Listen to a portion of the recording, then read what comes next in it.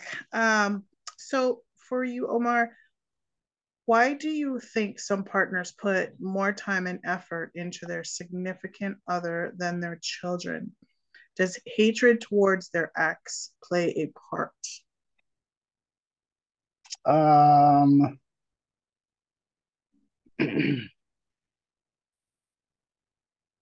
I would say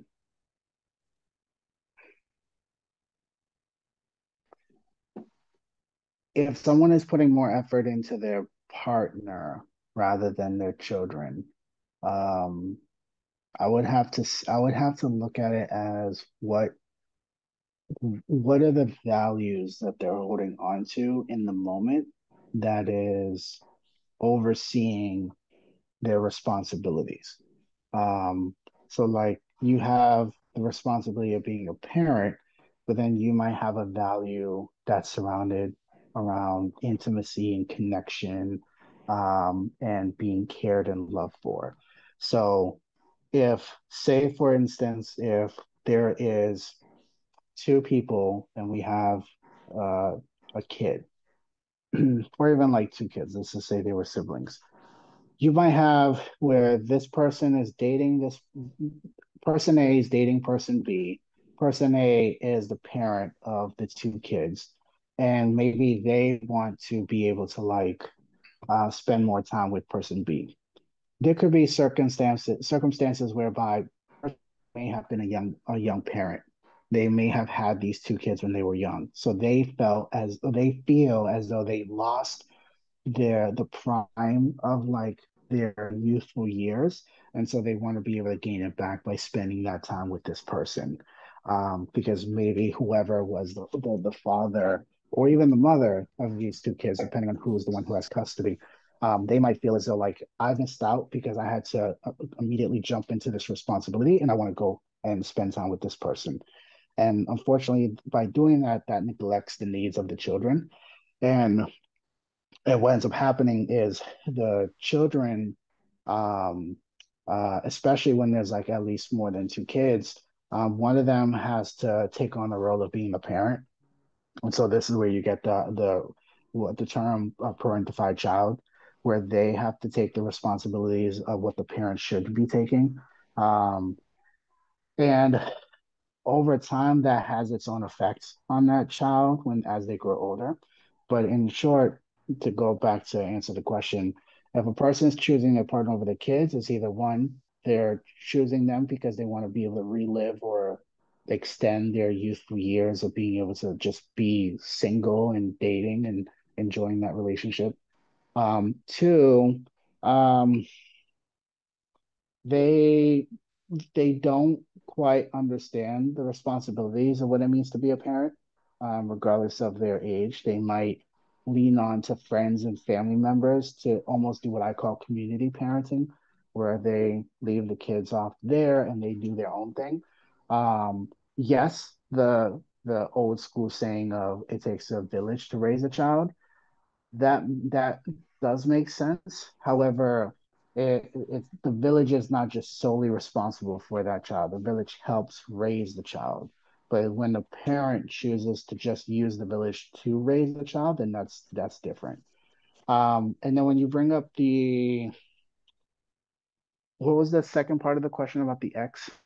Um, well, it's like does hatred towards their ex play a part? Like you know how um you'll hear some moms say, You're just like your dad, and you know, they have this oh. like sense of hatred towards the father that sometimes rolls over because you know the the father must have did something to them and that per- particular thinking um you know do you feel like that plays a role in them putting too much effort and time into the new relationship to the point where it's like you know they the guy might have given them a little bit more attention than the old relationship. And so they don't want to lose the guy. So then they put a lot of effort they put a lot of um, effort into the relationship to the point where they kind of push the kid like they just do the basics like oh i'm going to feed you i'll clothe you i'll shelter you but affection and you know attention and guiding guidance is no longer there Yeah, that um I would say I would say I would call that they're projecting the anger onto the kids. The anger is actually towards the ex. Mm. Um, the kids, the kids did not do anything to deserve that type of treatment. So could that be possible? Yes, it is possible for a person could be so upset, annoyed, frustrated, pissed off about whatever the ex may have done um, to leave them in that place. And so when they look at their kids, the kids is a result of that relationship. And so it's a constant reminder of how things fucked up, essentially. And so they might end up projecting anger to the kids, even though it's not about the kids, it's about how you feel about your ex. And so, yes, they might try to salvage or not salvage, but they might try to do whatever they can with this relationship um, in order to foster something healthier. But it ends up backfiring because then that person is also going to see like how they treat their kids um, and whether or not if if that person whoever they're dating is someone who understands the responsibility of parenting I can only hope that that person encourages them, like, hey, you want to spend time with your kids? Like, I know you're spending a lot of time with me, and I'm grateful for that. But eventually, I'm gonna need to like get to know these kids, um, and I want to see like how you are as a parent. And you never know when they might try to like postpone that as much because maybe they don't want to see them and how they actually act with their kids or how upset they might get with their kids when the kids are just doing like kid stuff um, because that might also change the dynamics between them. Um, and the kids might also notice a shift in the in the parents' behavior, and they might be they might think like you're being much more nicer than ever. So then the kids attach the change in behavior from the parent with this new person. So they might attach themselves with this new person because maybe whatever this part this new person is doing has created a different parent, and I like who this parent is. And so, unfortunately, then that brings up a different cycle, which is if they break up, then they get the old parent. And you know, so the kids then associate like this is what it means to be in relationship, that people change you. And so then that's how they start developing this idea of what relationships mean. And people don't realize the the impact that your choices and decisions have on kids relationships, even though kids may not see the in and outs of the the dynamics of the relationship, they do feel the effects of it um, through you as a person. They might see you cry or hear you cry, see you get upset, and see the changes in your behavior, and they reflect on that due to the relationship. Or that's how their little brains are trying to make sense of it. So, do you re- recommend that those um, they would probably get like just a single counseling? The parent or just the um yeah that would be the question. Would it be both of them at the same time? I mean it is a relationship. I, I would say I would say once a couple if it once and if a couple were to separate for whatever reason and kids are involved, I would highly recommend for that that parent to consider um, counseling either for themselves and or family counseling especially if they're fully aware that the ending of that relationship may have had a direct or indirect impact on the kids. Um, especially if kids are constantly asking, "Oh, where's daddy? Or where's mommy? When are we going to see them? How come you guys aren't together? Why, oh, why did they pick their stuff up and leave? Why are we moving?" So when kids have questions and you can't really give them like straightforward answers, or you choose to give answers, but your answers are highly influenced based on how you feel, like, Mhm. oh, we're leaving because it's your it's your dad's fault, it's your mom's fault, then you're you're doing a disservice because now you're pushing the kids into a position of having to unintentionally choose sides. Um, because now they have to side with you, even though that they also they they enjoy both parents. Um, so when it comes to family counseling, it's more to do with how the parent and child can move through this change. Because if a parent doesn't know what's the best way to describe what's happening in their relationship to a child, depending on what age they are, then they're better off sharing that within the context of like counseling. have the counselor, have a family therapist help you how to bridge that gap of explaining the situation or the change for them. So that way the kid has a platform to share how they feel um, and their concerns. Um, um, for the for the person, I would say their best bet is to speak with like a relationship counselor. Um, the reason being is because um, they need to go speak to someone who has an ongoing history and expertise of, of the nuances of relationships, whether or not it's communication, intimacy, and so forth. So they have space to really explore what contributions that they make or did not make that contributed to the downfall of the relationship. Because the relationship is a two way thing. Even if you truly believe in your heart of hearts, it's the other person's fault that that could there could be possible but what did you do or did not do that also contribute to where it has happened there are circumstances where you didn't do anything wrong but it was the choices that you made afterwards that may have contributed to where you're at now. Like you could have thought that the relationship was great and then you found out that the person cheated on you and now you're stuck of like what am i supposed to do now? That is a moment where you need to consider doing counseling. Not let the relationship continue and then things go sour and then you start having a lot of hatred towards a specific gender uh, uh, and then feel as though you attribute all those all of the all of the folks who fit in line with that gender sucked because of what this person did. So like if a woman had cheated on me i'm just to say all women suck because they're all cheaters or vice versa. That is not fair to the entire population of women. It's only this person made that choice. And so I think it's it would behoove the person to get counseling immediately once they like a, a, a for lack of better words, a traumatic situation has occurred that has now put you in a place of not being able to sleep at night, holding some sense of anxiety, holding a lot of anger and resentment. Those are not healthy to sustain yourself with those emotions because it's going to affect everything else. It's going to affect how you parent because you're easily going to be annoyed with your kids by just doing kid stuff. You're not going to be as productive at work. Um, you're not going to be yourself. You're going to lose sleep.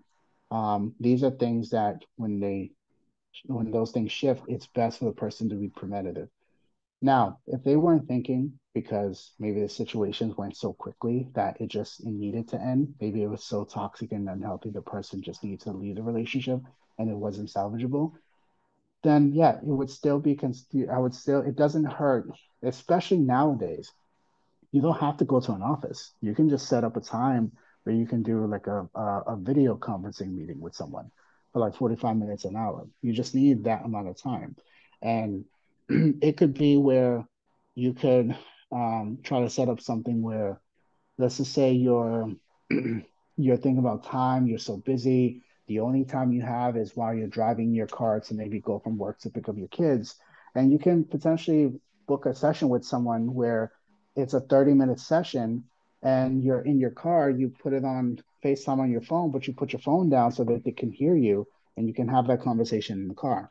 I think it's it's more about just as soon as there's a pattern of behaviors that are not healthy um, or would be considered not healthy, um, that is when people need to get help. it's funny that you said that because um, I always feel like people should get help regardless. I remember the first time I ever got counseling was when my uncle passed away and mm-hmm. it rocked me and I started drinking and just took a couple days off of work and I spent those couple days drinking so it was mm-hmm. kind of like um, it was kind of like I just checked out. And I remember going to my job and I told them, I was like, I just don't even feel like coming back to work. And they're like, okay, we'll sign you up for a therapy while you're out. So I went on like a medical leave and um like I, I did the counseling and stuff. And then like I, I finally got my shit together and was just like, ah, all right, I needed to accept what everybody else was accepting all these years that, you know, when people pass away, that it's um it's part of life and you'll never know if you'll ever you might just run into them again. Um So it's like, you know, you just got to accept it for what it is. But then the second time was when I started college and I had just had the twins. Um, our relationship was kind of uh, separating and it was struggling because I was working, going to school. I would come home like 11 o'clock at night and I was working part time and going to school full time. And the anxiety of it was just rough. And I just remember um, one of the school counselors was like, You probably just go get some um, school therapy or mm-hmm. like therapy or something like that to deal with your anxiety and stress. And I was like, All right, because changes. I just remember her most valuable word is when you have changes in your life and they become like overwhelming, sometimes you probably need somebody to bounce stuff off of because um because you like life can become overwhelming. So, I mean, do you feel like it's beneficial to, outside of relationships that people go to therapy just because, you know, every day to day stuff yeah, I would say I wouldn't want people to look at therapy as the be all end all, but I want I want folks to look at it as like um um as like a resource or think about it like when we when when when we're trying as human beings when we're trying to live healthy sustainable lives we may um, buy like vitamins or supplements um, as a way to like help us, but we cannot rely on those vitamins and supplements. We have to make choices based on our eating habits and um, our exercise activity. We just use vitamins to supplement some of the things that we're not getting in our everyday lives. And so I look at counseling as that. Counseling is a supplement to what you should already have. What you should already have is a healthy network of friends. You should have, um, depending on one's life, uh, some level of connection to people um, that you can go to. Now, friends offer uh, common sense or common advice, while a therapist or a counselor offers more of like what is considered clinical support. Clinical support is as a counselor, my responsibility is to help help you slow down some of your thought processes so that you can then think about what decisions and choices you're going to make. A friend might go into what I consider like a problem solving mode. They hear your problem, they immediately either they'll listen to you, they might ask questions, but they might go into like trying to help you solve the issue. But sometimes you don't need a, a resolution, you just need someone to talk to. And sometimes people don't want to feel that they're burdening their friends so they might choose to go to a counselor um, because they might say like, I know that my friends are going to side with me. I know my family's going to side with me, but I want someone neutral. And I think that's what people use might view counseling as as a neutral space to really think through like I need someone to tell me did I fuck up um is am I crazy and I tell people all the time you're not crazy um um you might make decisions and you might make choices that seem crazy, but we have to spend time to really slow down and ask intentional questions around how come you made these choices? What was important to you? I don't know if friends would do that. I think friends would say, like, no, that guy's stupid. You don't need him anymore. But it, again, their their allegiance is to you. Their my allegiance is to your overall well-being um, you can make messed up choices. And depending on my relationship to you as a client, I'll tell you, like, what you did was fucked up because it goes against what you've told me before of what uh, the type of person you want to work towards. So if you want to work towards being a more considerate person and you made a choice that was inconsiderate, then I'll call you on it because you said you're coming in here to work on that. And I'm keeping you accountable to that. It's almost like I'm your mental personal trainer. I'm going to tell you what you're what you're doing wrong based on what you're telling me. Um, I don't know you. I'm I'm not going to claim that I know you more than you know yourself. However, based on what you tell me, I'm going to tell you what I am understanding based on what you're saying. So if you're telling me this and I tell you, say, I'm so mad I'm gonna punch him in the face. Okay, so you're telling me you're gonna punch him in the face. And then you hear it back exactly your words, and you're like, oh no, no, that's not what I mean. I don't actually want to punch him in the face. I'm just so upset that that's how I feel.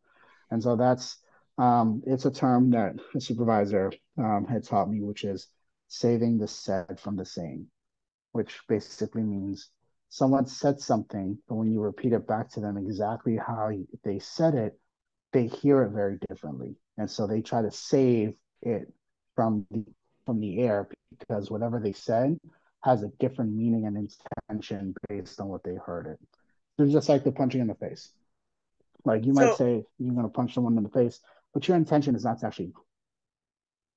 Oh, go ahead. I'm sorry. Oh no, I was gonna say say that again. Save the.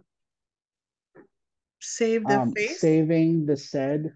Oh, saving the said. Saving, saving the said from the saying. So oh, said okay. as an S A S A I D and then saying S A Y I N G. Um, okay. so I said something, but that's not what I mean. No, I got um, you. Yeah. So um I tend to always be like the devil's advocate, and my friends hate it. They don't like to talk to me because, like, I don't try to agree with them. I try to look at the whole picture. And mm. I guess a lot of times it's kind of like you said, you have an allegiance to them. And I was just like, I might have an allegiance to you, but is it going to benefit you at the end of the day for me to tell you what you want to hear? So, well, I think that's a, I think that I think what a lot of people don't do often is they don't tell their friends what they actually need from them when they come to them with an issue. Yeah. I think, and that's what I see with a lot of couples where you people don't make it clear. I'm coming to you with something and I want your help to resolve it, or I'm coming to you with something and I just want you to listen to me. Um, like I just want to vent. And if you don't make things clear, then people are going to get upset because they might say, I didn't come to you for you to tell me to be the devil's advocate. I came to you just to like vent and just to share. Like I need a I need a cheerleader right now. I don't need someone to tell me what I did was wrong. I just need to like say something just to get a like a mental boost. Um, and so I think people in general, um, we don't think to ourselves, of trying to be intentional in conversations. I just think that we just take advantage of um, um, we take advantage of our assumption that people should know how to talk to us, not realizing unless you went to school for communication, no one really got taught how to really communicate in a relationship or even friendship. You just you vibe with someone, they they they um, had similar interests and and and values as you, and then you just went with it. But then eventually, every friendship goes to an argument. So how do you navigate it? Yeah, that's true. You got me over here thinking. You're not supposed to be having me think. They're supposed to be thinking out there. so, um, this was another segment my friend brought up, and I don't know, you're probably not the type of person to condone mm. that, but um, do you think polygamy is you don't even have to answer. You could be like, I'm not answering that question, but do you think polygamy is best for this era? The idea of being able to have multiple spouses. Yeah.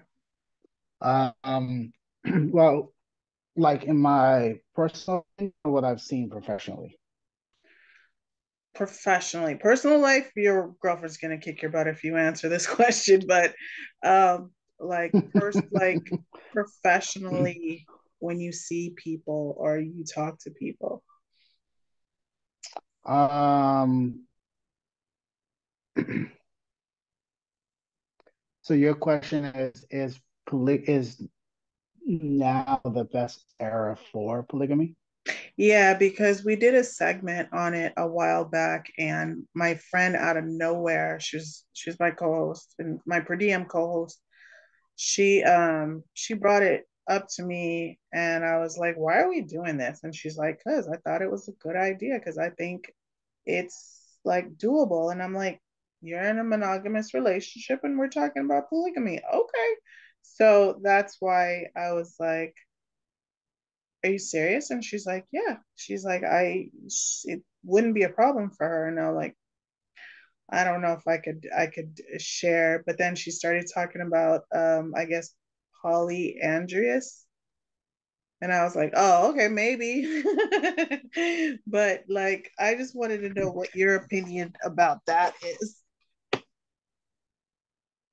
Yeah, so I think so to me there is uh, polygamy or the notion of being able to to have multiple marriages, which my understanding, and I could be wrong, if if that is considered outlawed in the United States versus like in outside countries where it might be legal, mm-hmm. um, versus like polyamory, um, the notion of of uh, having um, intimate relationships with more than one person at the same time.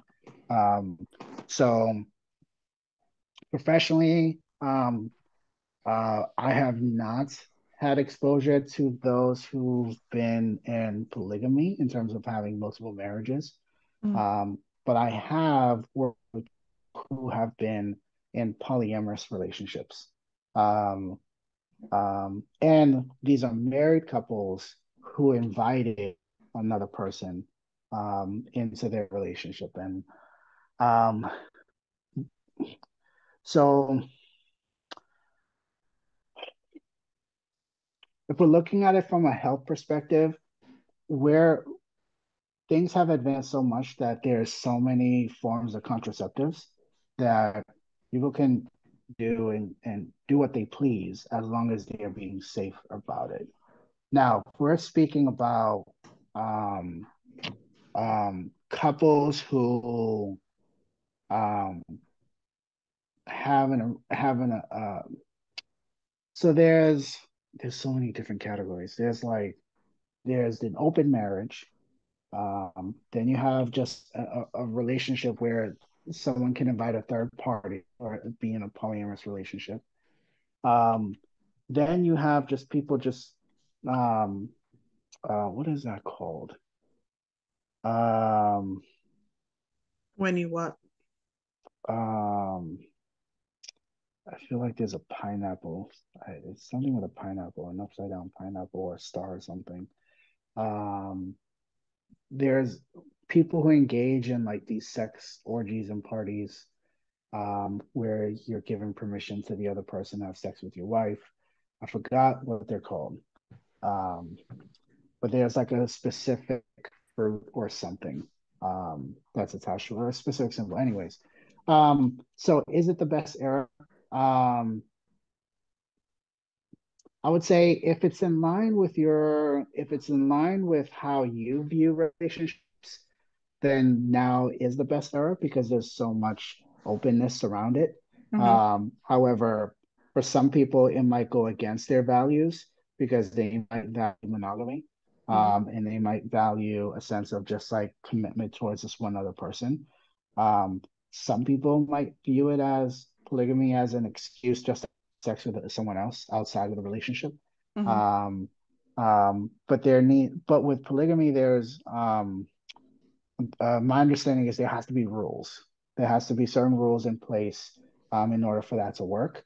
And and the the difficulty around that, and I've I've seen couples in this situation when those rules get bent or those rules get gray. And when those rules get bent and gray, feelings are attached to it. And then it messes up the the, the original dyad of the couple. Um, and so um, I don't know if I'm answering your question. it was a very awkward question. it was a very awkward segment. I, I have to say. I mean, I pretty much was just laughing the whole time she was giving me all the information about it. So um, mm-hmm. it's not a road I want to travel down. So that's why mm-hmm. I, I just thought it was funny because when she said you could have more than one husband, I was like, oh, yeah, because I got one that's going to clean the house. And that's where I was going with all of that. But um, just so we can wrap this up and you could give us some um, information, um, like you say you you do a business aspect, so you do like a business consulting as well. Is yeah, so I um so I have uh, so my primary um business is doing counseling for couples. Mm-hmm. And then I'm um, starting a second business, which is um, business coaching for therapists and helping them understand the business side of building their own counseling practice. Okay. And so where would they go to find you if they need to? if if I, if it was a couple that wanted to do counseling with me, um, the it would be just on my website, which is uh, uh, talkthinkthrive.com. That's T A L K T H I N K T H R I V E.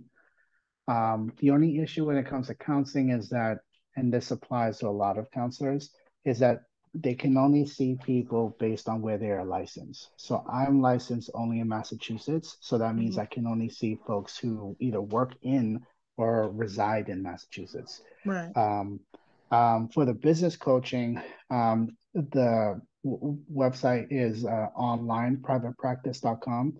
Mm-hmm. Um, and um, for that side, it's more of helping therapists improve their online presence. Um, mm-hmm. so that that way they can get more client referrals. Because I think um, even coming from my own experience building a counseling business, you don't go, we didn't go to school for business. So we don't necessarily understand what it means like market ourselves mm-hmm. or understand the nuances of like how to really show up on Google um, what we've been trained to do is help people, but they didn't train us about building a business. It's all, then also the conversations about building business was always shunned upon. They would always say like, "You didn't come into this field to make money." Well, I'm we're trying to break that mode and say like, no, you can still make money. Like, yeah. just because I'm working with certain folks does not mean that my time is not as valuable as maybe an accountant or as like a landscaper like yeah. I'm still helping people and my time is still worth something. So yeah. for those folks who need help on improving like their business aspect, then they can just go to onlineprivatepractice.com. And I'm right now building a, a YouTube channel um, so that I get more of the awareness out about like how to build the business. Oh, that'd be helpful. And it's under the same it's under the same name. It's under uh, uh, uh, yeah, it's under the same name, online private practice. And that I think that goes with any health professional that's trying to build a, a, a private practice. It could be like a physical therapist. It could be um, even a nurse who wants to have their own um, private business. Um, it's more about just like the nuances of like uh, building a small business from the ground up. Yeah, because these doctors are they're used to just insurance company referring the patients over to them and you know mm-hmm. um because i know um like I, I know a lot of people are doing telemedicine now a lot of doctors like they'll that's like included when you make a doctor's appointment.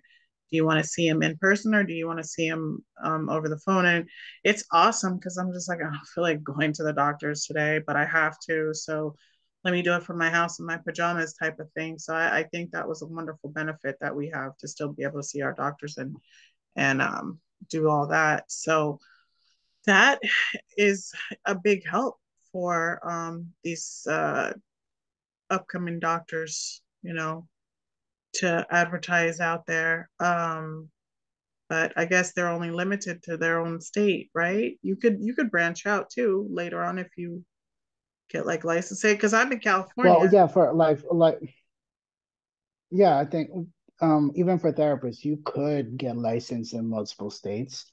Um, but that's in its own nuance of mm-hmm. like which state do you want to get licensed? What's the reasoning for getting licensed? Like there are some people who they might be licensed in California and they were building their practice, whether if it's a nurse, physical therapist, or counselor, and then all of a sudden they move to Boston, but they still have referrals coming in from California, so they want to maintain that license in California um, while getting their license established in, in Massachusetts. So that's why for some people, they might want to keep those multiple licenses.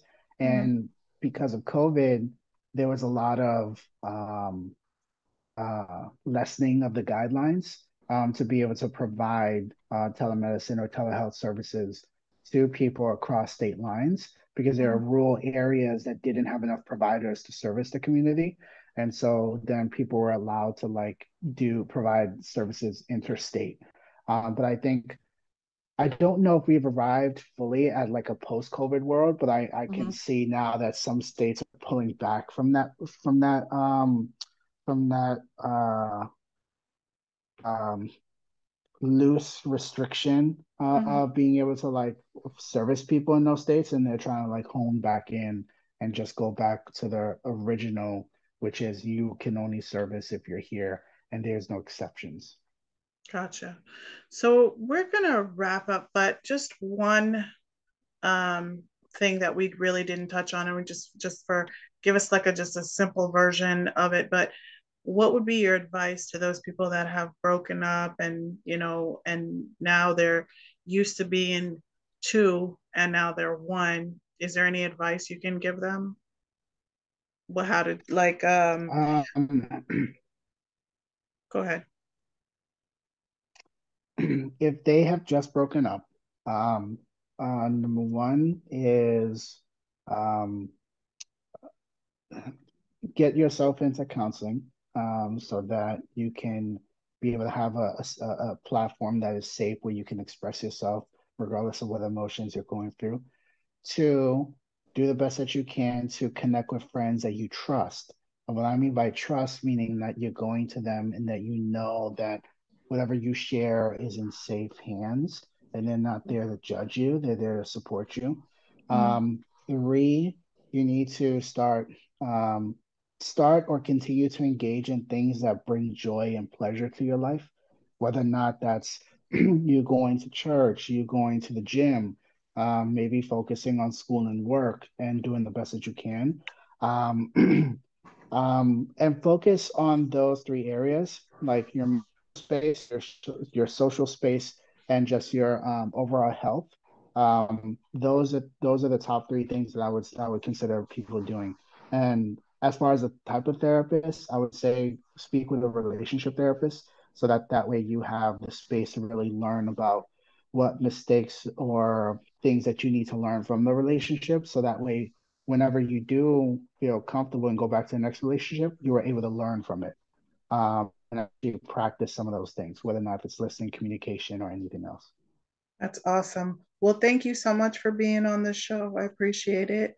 And um, just look out for Omar if you're in the Massachusetts area. If you just had a breakup, he is available. And, you know, for all the doctors and everyone else out there that needs a little business savvy, Omar's the guy for you.